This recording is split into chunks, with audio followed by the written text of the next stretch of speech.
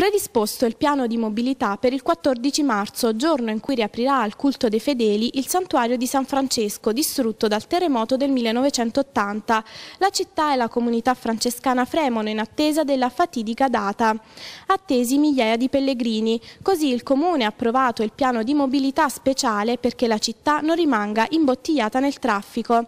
I bus di linea provenienti da nord parcheggeranno presso l'area mercatale, da dove navette della Metellia Servizi servizi e del CSTP accompagneranno i fedeli a Piazza San Francesco. I bus di linea provenienti da sud invece parcheggeranno nel primo tratto del sottovia veicolare che per l'occasione sarà aperto. Per consentire lo svolgimento delle manifestazioni religiose, chiuso alla sosta il parcheggio di Piazza San Francesco e per consentirne una migliore fruizione, i frati francescani lo divideranno in settori, in cui verranno ospitate famiglie, associazioni e case di riposo. Previsto anche l'impiego dei volontari del gruppo della protezione civile di Cava e un servizio straordinario per gli agenti del comando di polizia locale.